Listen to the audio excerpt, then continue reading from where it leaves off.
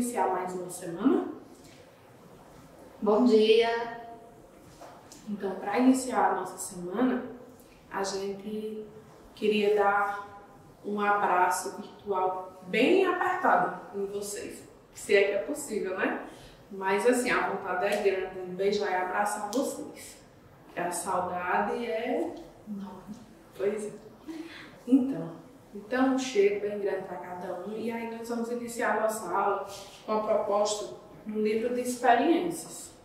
No livro de experiências, a gente vai começar a estudar um novo conteúdo, que é sobre o trânsito.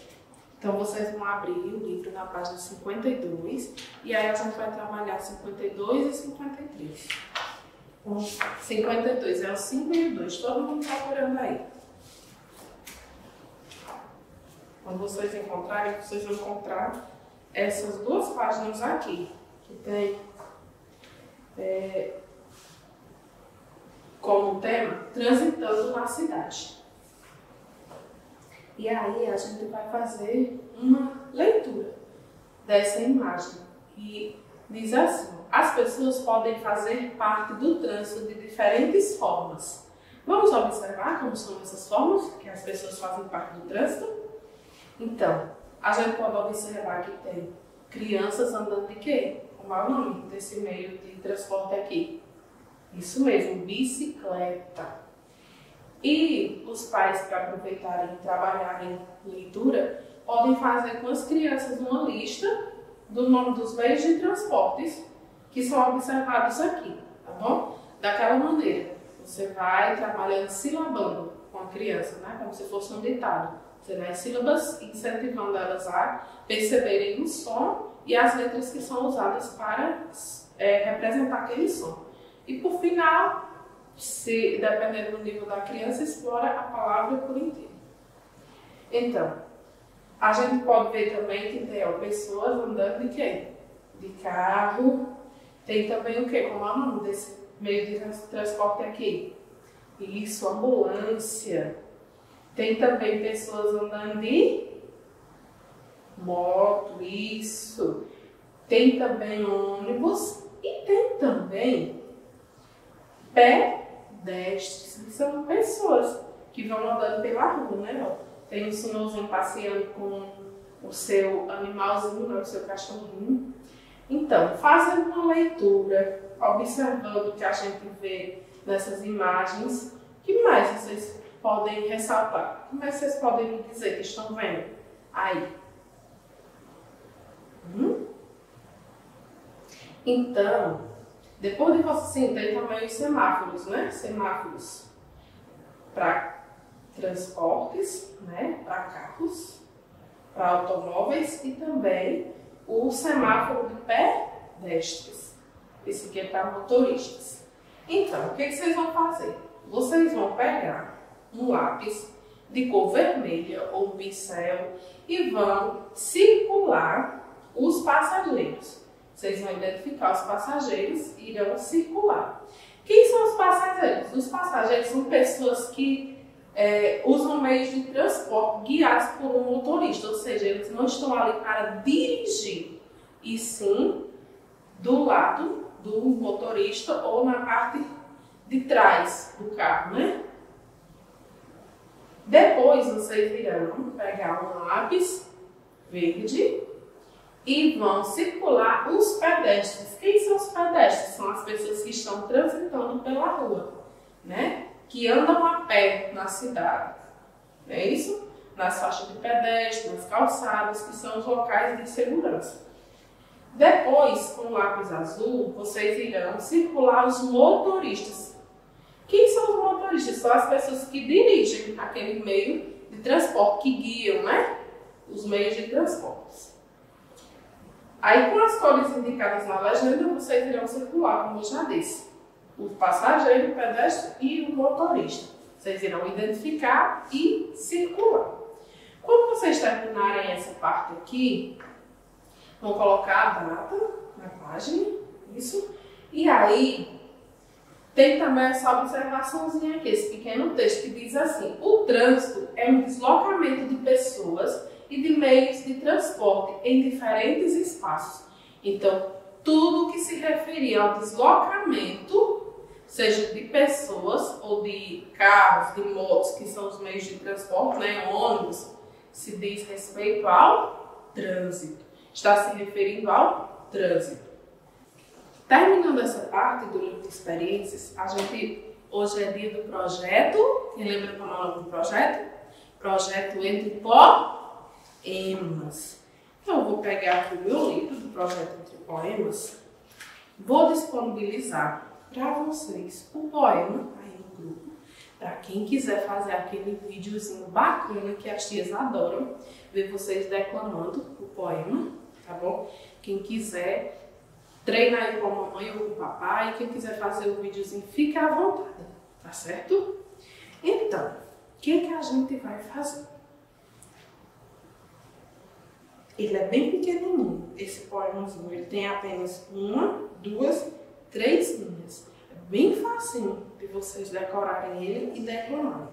Tá certo? Então eu vou iniciar lendo aqui.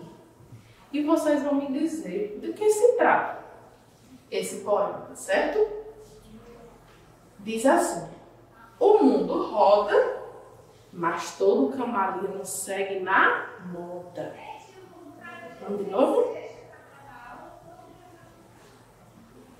O mundo roda, mas todo camaleão segue na moda.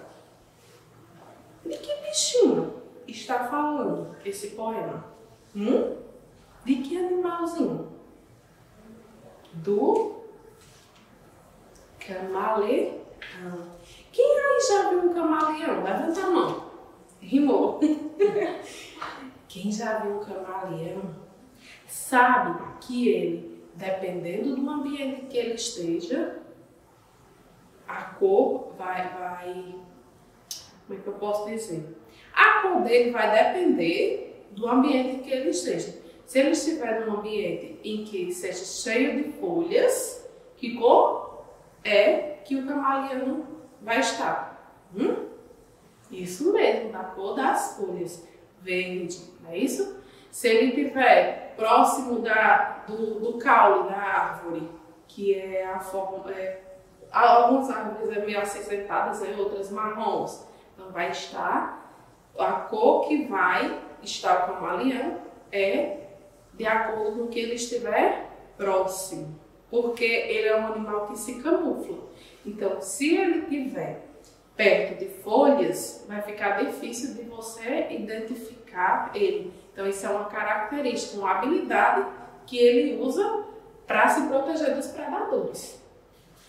Então, por que que o mundo roda e todo camaleão segue na moda? É justamente por essa habilidade que ele tem, né? De mudar de cor, né? A sua pele, ela muda de cor. Então vamos lá para a proposta. Quem aí já decorou? É bem facinho, né? Então, a nossa proposta é a seguinte. A gente vai fazer, aliás, vocês irão fazer em casa uma brincadeira com o papai e com a mamãe, tá certo? Então a gente pensou, porque a proposta aqui era pegar, confeccionar uma caixa, colocar vários cartões coloridos dentro. Então, foi o que Tato pensou. Pensou, a tia Eliane, de facilitar a vida de vocês e do papai e da mamãe, para não perder tempo de correr atrás de material para poder confeccionar. Então, pensando nisso, todo mundo aí tem lápis de cor em casa, não tem? Ou então cera, ou então pincéis, que são de várias cores, não é isso? Então, vocês vão pegar qualquer recipiente que vocês tiverem aí, ou uma caixa de sapato, e vão colocar dentro.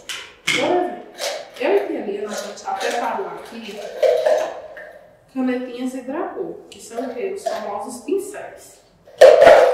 E colocamos aqui dentro. Agora eu vou dizer como será essa brincadeira. Você vai convidar alguém da sua família para brincar junto com você, tá certo? E se o camaleão muda de cores, a proposta hoje é a gente trabalhar as cores. Então, o que é que a gente vai fazer? Vai pegar, vai sortear uma cor aqui. Que cor é essa?